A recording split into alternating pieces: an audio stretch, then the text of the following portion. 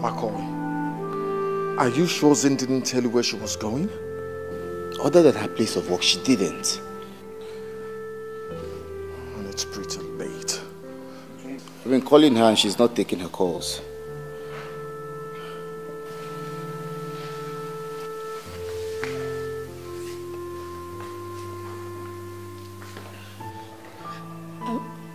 Good evening, Dad.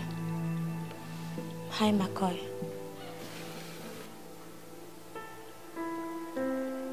Why your face is like that?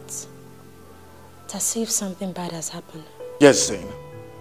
Something bad has happened. Now tell me, where have you been?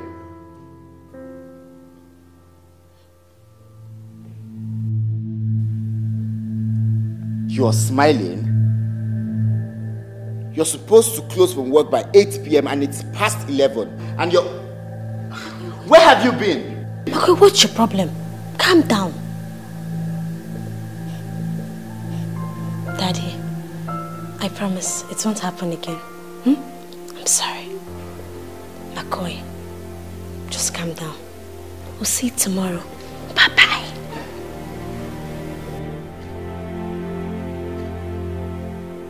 Um, Good night, sir. McCoy, thank you very much. Good night. sir.